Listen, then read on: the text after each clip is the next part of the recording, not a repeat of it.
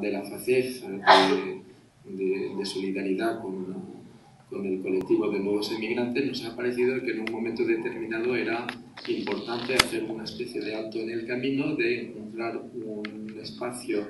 de diálogo, de concertación, de intercambio en cualquiera de los casos, de, manera a, que cada uno pues, pueda expresar eh, de la manera más libre y total eh, posible cuáles son sus, eh, su visión de, las cosas, cuáles son sus preocupaciones, sus alternativas, y esto deberíamos de, propiciar que fuese dentro de un marco abierto en el que participásemos todos aquellos actores que de una manera u otra intervenimos. Actores y, consideramos actores la administración española, por supuesto, puesto que esta es la encargada mm, por parte del poder político de, de, administrar y de gestionar las políticas públicas, pero también por parte de las organizaciones de la sociedad civil, como somos las asociaciones de migrantes o pueden ser los colectivos que se están eh, generando ya sea por vías de Facebook o ya sea por otro tipo de vías. Entonces, este seminario lo hemos concebido de la siguiente manera. En un primer lugar, lo que sí que hemos querido es invitar a un universitario, en este caso una universitaria, eh, para que nos haga una especie de balance del estado del conocimiento sobre la situación. Eh, por supuesto, ella nos explicará después eh, qué es lo que se sabe en términos eh, científicos, en términos objetivos, con o sin comillas, esto de los, eh, del, objetivo ya lo veremos, pero por lo menos que no sea, o sea, que digamos que sea una, visión, eh, en principio que sea una visión externa, que no sea una, una visión que tome parte.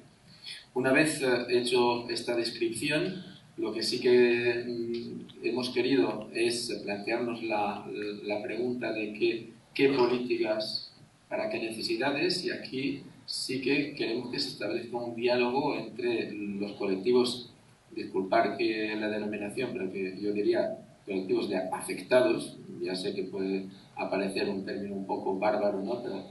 bueno, pues el estar obligado a, a marcharse de su país pues es como, como eso, ¿no? estar afectado por una, una, enfermedad. Eh, bueno, pues estos colectivos que, que, expresen su manera peculiar de ver cuáles son sus necesidades y, que las administraciones públicas, ellas, eh, eh, nos expliquen por qué se ponen en plaza, por qué se diseñan esas políticas públicas y no otras, y en qué medida están dispuestas a oír, escuchar y aceptar también eh, la participación de los ciudadanos en la elaboración de esas políticas públicas. Eso será en el marco de esta primera mesa redonda, en la que contaremos con la participación de Julia Tercero, que es secretaria general de la Consejería de Empleo y Seguridad Social, eh, y que viene en representación de, Ignacio Niño, que, el consejero, que, bueno, pues nos ha escrito un mensaje, pues eh, la verdad, muy, eh, muy entusiasmado, que lo siente mucho, tenía una cita, eh, vamos, un compromiso contraído anteriormente que no podía estar entre nosotros. Entonces, bueno, pues entonces invitamos también a un representante de, de Marea Granate, uno de estos colectivos, y a a, una representante también de uno de los colectivos más importantes que existen actualmente en las redes sociales. Y también eh, queríamos eh, aportaros el testimonio que desde la FACEF eh, hemos venido observando en el marco de las acciones que hemos desarrollado en, en, los años precedentes y por eso Beatriz García, que ha colaborado y sigue colaborando con la FACEF en esta materia, os va a decir